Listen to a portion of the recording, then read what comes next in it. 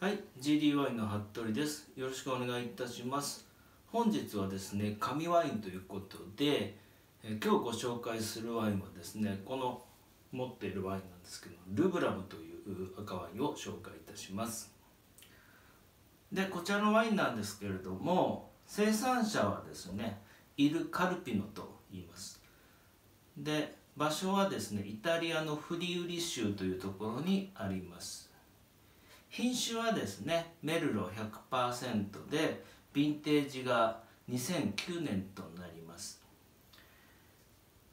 でこのルブラムという名前なんですけれどもこちらはラテン語でですね赤という意味です、まあ、まさに赤ワインということでルブラムというような名前にしていますけれどもこちらはですねあの非常に良い年ですね、えー、作り手がですね最高のメールを作れると判断をした時しか作りませんのでなんとですね最新ヴィンテージが2009年となります。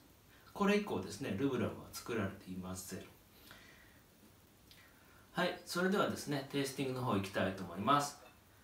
色は12年経ってますけれどもまだ若々しいですね紫の色をしています。香りからいきます。香りはとても官能的ですね。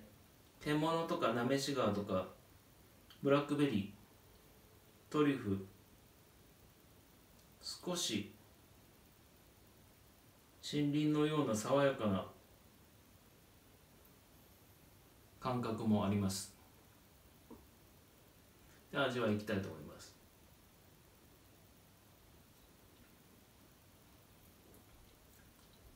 このワインはですねこう舌の上にとろけるようなですねタンニンとですね果実味が広がって幾重にも重なっています。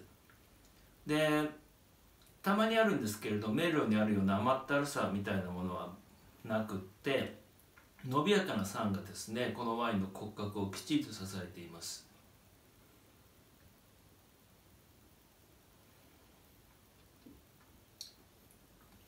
余韻もとても長いですね。